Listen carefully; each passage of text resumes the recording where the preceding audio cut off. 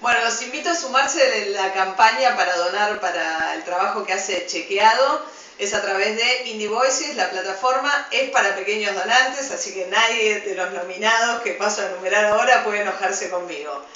Vamos a nominar a Maxi Montenegro, a Luis Majul y al empresario Gustavo Grobo Copatel. Los tres quedan nominados.